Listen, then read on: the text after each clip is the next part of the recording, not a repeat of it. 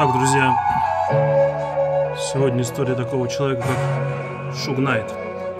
Просто с моих слов, то, что я вычитал, да, или где-то послушал, просто я вам быстро расскажу.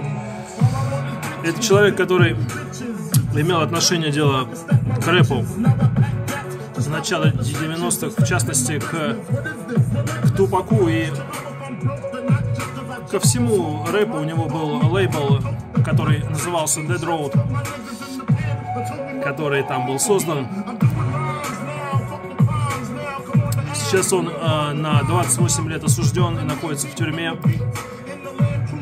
Вот.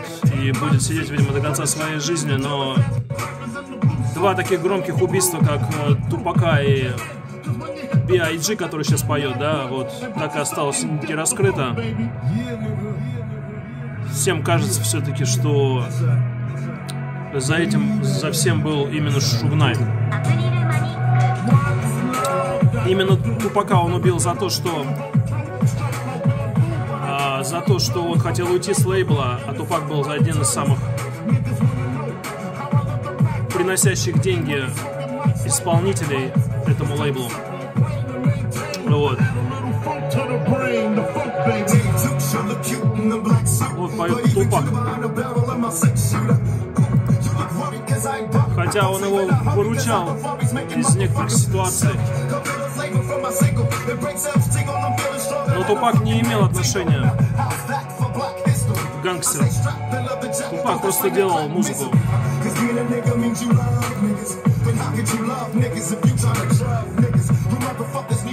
Нигас.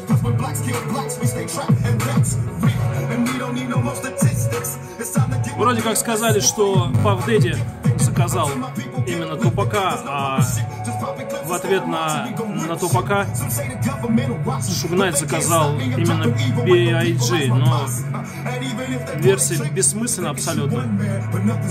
Абсолютно бес, бессмысленная версия, я считаю. Гораздо больше подходит то, что он заказал именно, чтобы убили Тупака за то, что он хотел уйти с лейбла.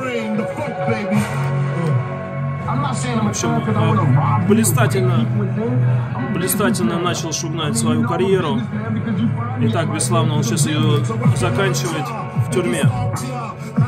Так бесславно. Играл он занимался спортом, вес у него 130 или там 140 или сколько-то столько-то килограмм.